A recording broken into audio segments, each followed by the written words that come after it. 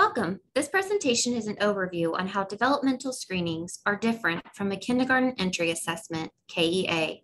This presentation, you will see how both developmental screening and KEA are important and how the processes used to implement these tools builds upon each other to help children be successful learners at home and school.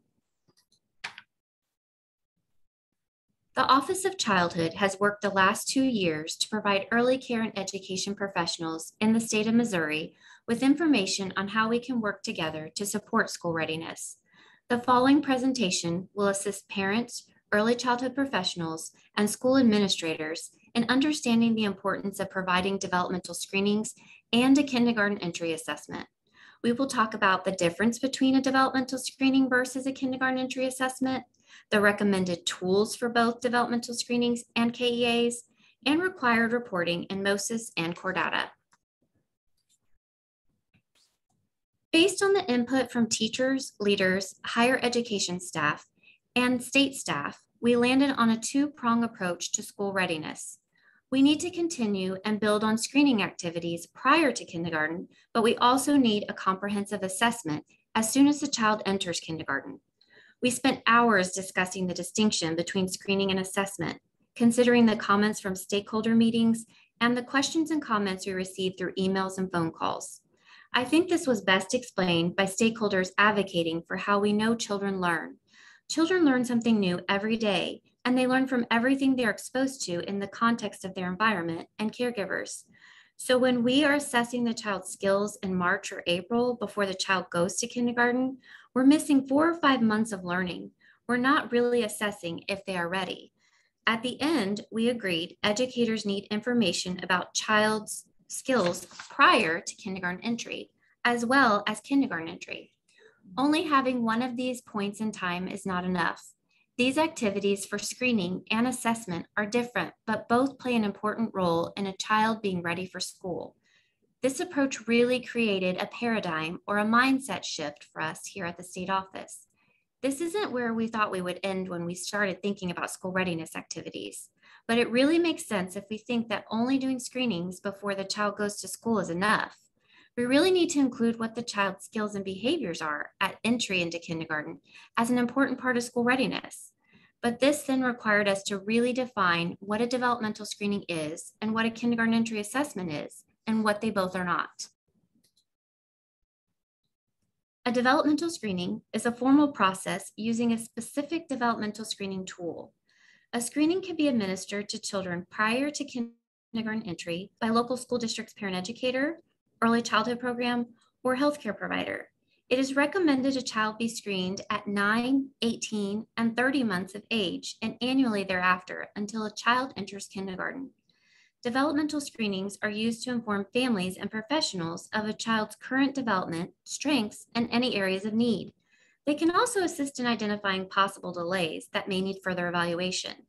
When families work together with early childhood professionals, they're connected to resources and or community services to promote continued growth, which prepares a child for school readiness. Kindergarten entry assessment is an assessment tool that serves as an indicator of a child's skills and behaviors that can set a baseline for school readiness. Using KEA data can help inform teachers and leaders of the number of children who are ready for school overall, as well as support instruction by meeting students where they are when they enter kindergarten. The use of a KEA is not federally or state mandated, although about 40 states have adopted some form of this assessment. So to learn more about what a kindergarten entry assessment is, we went back a few years to 2011, when the Race to the Top Early Learning Challenge program required states to plan for and begin implementing KEAs to promote school readiness. This requirement established a common and widely used definition of KEA and its characteristics. KEA should cover the five essential domains of school readiness, like language and literacy development, cognition and general knowledge, social and emotional development, approaches to learning, and physical well-being and motor development.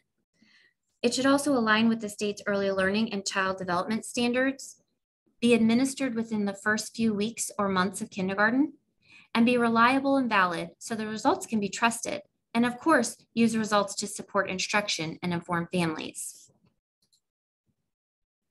After discussing the two-prong approach for school readiness, the stakeholder group quickly realized the need to better define screening versus assessment and the distinction between the purpose and the properties of each.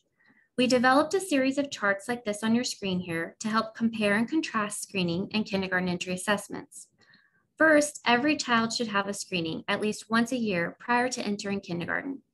But a KEA is likely only completed one time, and that's when the child first enters kindergarten. A screening is usually brief and inexpensive because it's a snapshot of the child's abilities. On the other hand, an assessment at kindergarten is more in depth. It usually costs more, but it also provides much more description of the child's abilities, strengths, and challenges. And finally, screening tools are designed as norm reference tools, meaning that they compare and rank the child to other children based on the population in which the tool was normed. However, on the other hand, a KEA is designed to be criterion referenced, which means it compares the child's performance to a set of standards or criteria. This is an important distinction when you're talking about measuring school readiness. You want results to show the child's performance compared to a set of standards. We spent several meetings talking about the purposes of screening and assessment.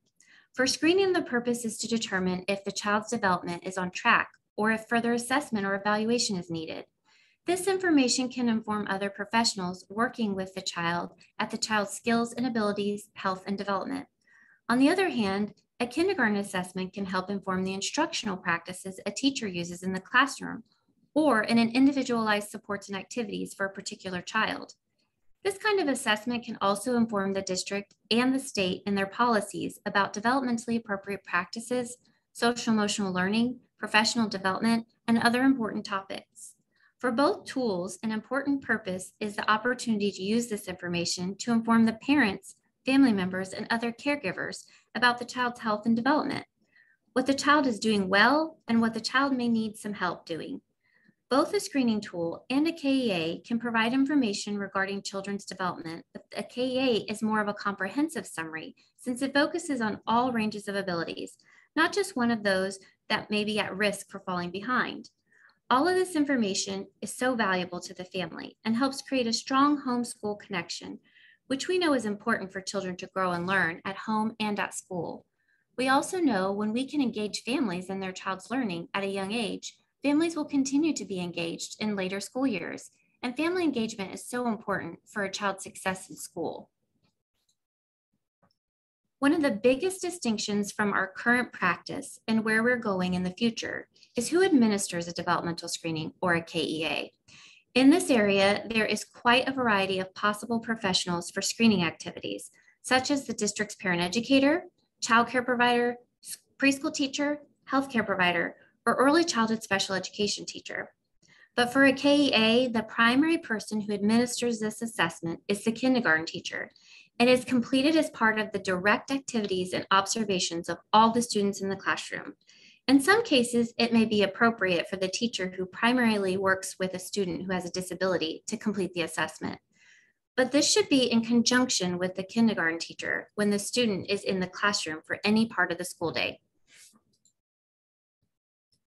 There are currently four developmental screening tools that focus on general development and social emotional development that are recommended by DESE's Office of Childhood. The DIAL 4, ASQ 3, and ASQ SE 2 Brigance Early Childhood Screens 3, and the DECA Infants, Toddlers, or Preschoolers. Recently updated screening information and resources are available for professionals on the Early Connections professional webpage listed on the bottom of this slide. There are currently three KEA tools recommended by the DESE Office of Childhood. The Kindergarten Observation Form, the KOF, Brigance Inventory of Early Development 3 Standardized, and the desired results developmental profile for kindergarten essential, DRDPK. Recently updated KEA information is available for professionals on the KEA section of the Office of Childhood Quality Programs webpage listed on the bottom of this slide. The information that's included is resources such as recommended KEA tools documents with links to the individual tool publisher websites and the KOF pilot program information that is currently going on in Missouri. Because both the developmental screening and a KEA help build upon school readiness, Information is collected to help make data informed decisions.